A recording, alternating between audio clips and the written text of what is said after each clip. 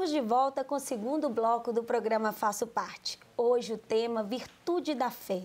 Falávamos no primeiro bloco sobre a firmeza da fé, sobre ser, sermos firmes, seguirmos adiante com nossa fé.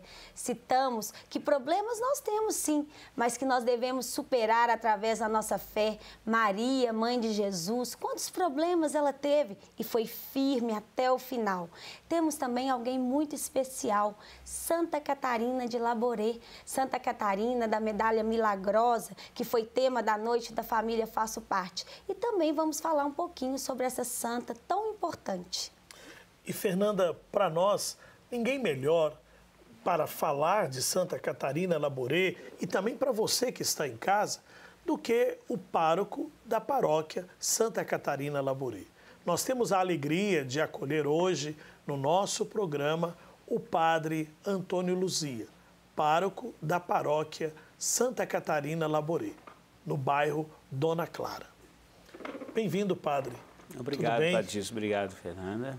Alegria tê-lo aqui, padre. Obrigado. Padre, para nós que hoje o acolhemos, nós temos feito desse momento não só um momento de evangelização, mas também um momento de proximidade com os sacerdotes. Sim. Então, antes do senhor falar para nós né, a Fernanda já até motivou bastante sobre Catarina, sobre a medalha milagrosa. Nós queríamos que o senhor pudesse falar um pouquinho do Antônio Luzia.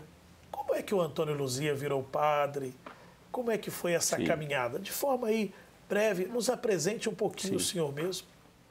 Eu, eu nasci, Padre Gisso, no interior, né, em Tabira, cidade perto de Belo Horizonte, e, e, ficava muito impressionado com o monsenhor da nossa paróquia. Era um homem é, conhecido pela firmeza, muito ligado à vida da fé, à organização da igreja, e de grandes sermões da Semana Santa, e, e, e de batina o tempo todo.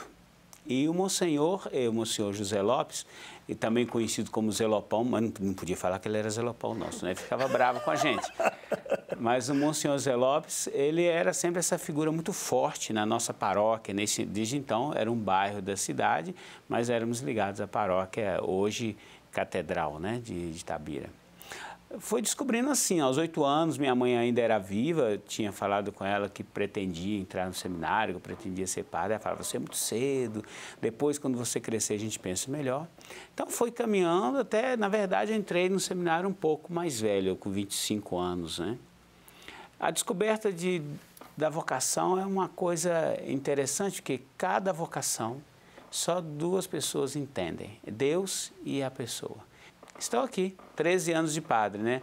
Me ordenei pela Arquidiocese de Belo Horizonte, sempre fui formado pelo seminário da Arquidiocese. Uhum. Né? O senhor passou por outras paróquias? Como é que foi isso? Essa é a minha terceira paróquia. Terceira paróquia? É, terceira paróquia. Como diácono, eu fui enviado à, à minha primeira paróquia, lá me ordenei padre, fiquei por seis anos. Depois passei pela é, é paróquia Santa Terezinha do Menino Jesus, em Baronesa, Santa Luzia. Depois passei pela paróquia do Céu Azul, Nossa Senhora de Guadalupe, né?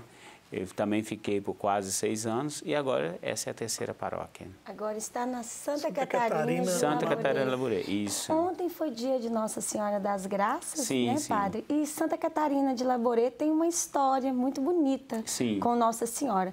É, eu gostaria que o senhor contasse um pouquinho sobre essa uhum. história para todos sim. nós. Santa Catarina Labouré é uma freira do século XIX ela é vicentina e ela é, são naquela época falava as freiras do chapéu, que elas usavam um chapelão, né? E, e ela então é, começou a ter essas, essas visões, né, com Nossa Senhora.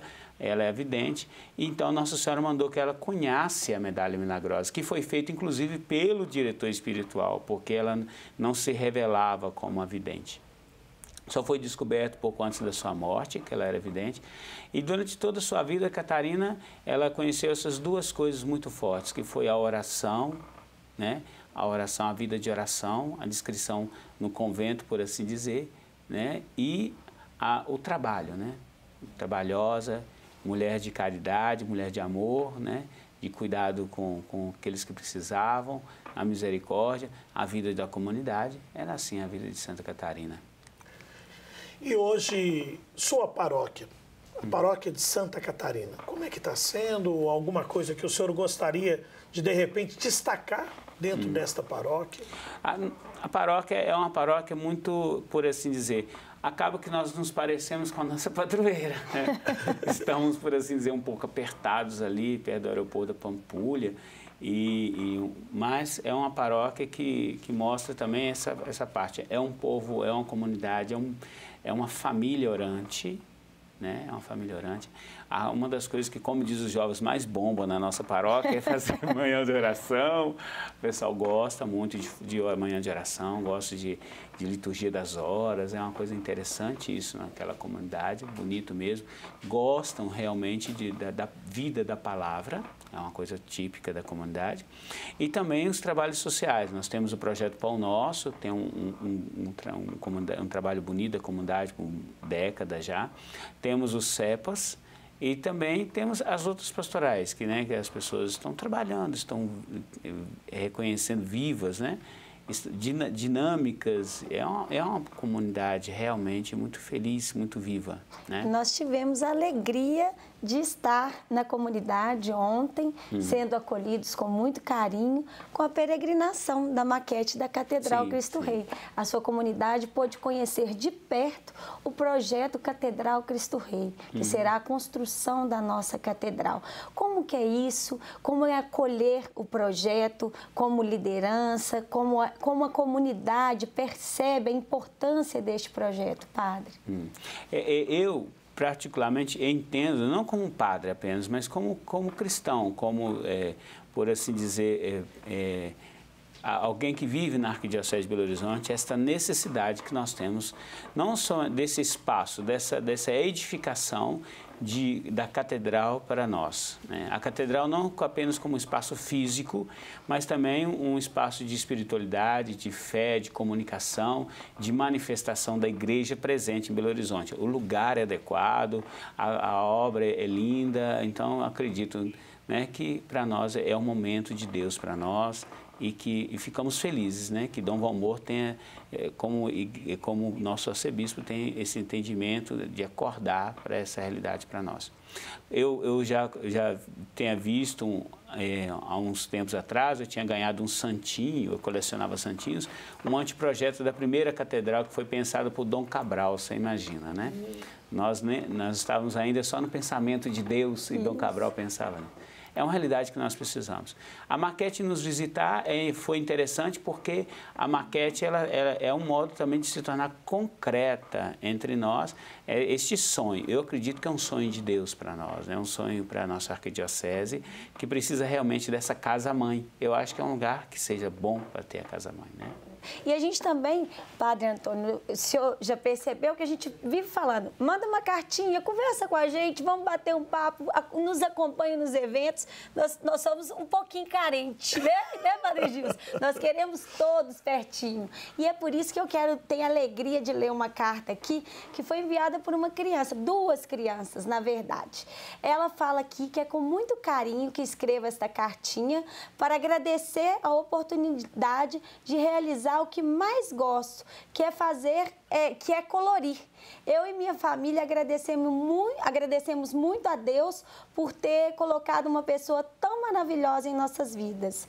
Aí ela cita que nós somos um pássaro que voa semeando amor, alegria, a palavra de Deus. Quem enviou essa cartinha foi a Fernanda e o Eric, da paróquia Nossa Senhora Aparecida, do bairro Mantiqueira, com muito carinho. Fizeram um colorido bonito aqui pra gente, ó, da Catedral Cristo Rei, do Santuário Nossa Senhora da Piedade. E assim como a Fernanda e o Eric é, tiveram todo esse carinho, esse zelo, agora nós vamos para os parabéns. E quem vai tirar hoje os parabéns é Padre Antônio, de forma muito especial. Nós temos dois nomes aqui que o senhor vai tirar e vai ler aqui para gente, Padre. Ok. Tá igual na paróquia, quando nós fazemos é. sorteio no final. É realmente o padre que tira. Ou uma criança, ainda então, bem que somos comparados. Hoje é nosso convidado especial. Isso. Belo Horizonte, Antônia da Conceição Melo, Santa Mônica. Oba, lá de Santa Mônica. Mais um.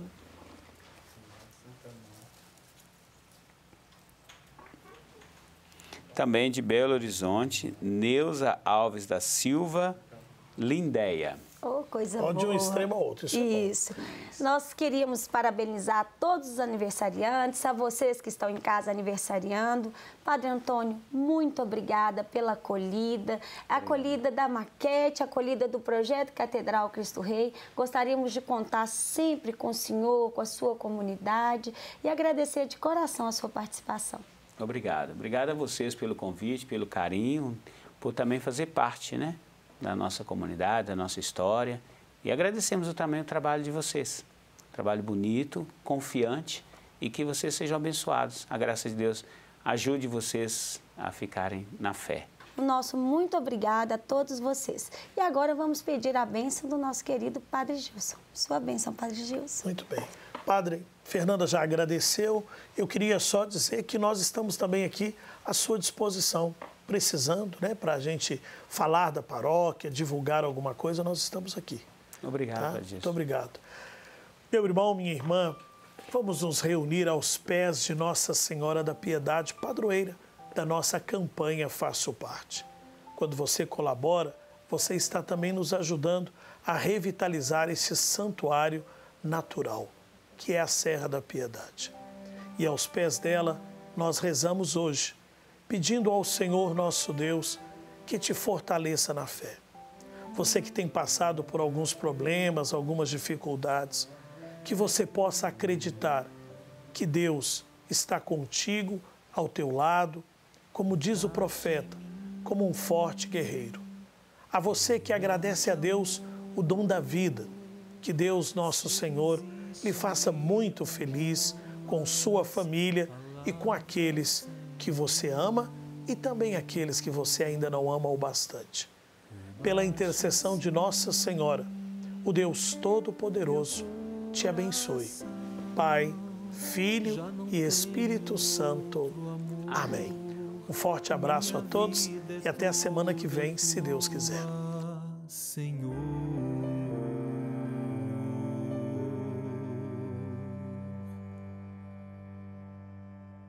Fitaste em mim teu olhar de amor, seduziste-me com tuas palavras, Senhor. Roubaste assim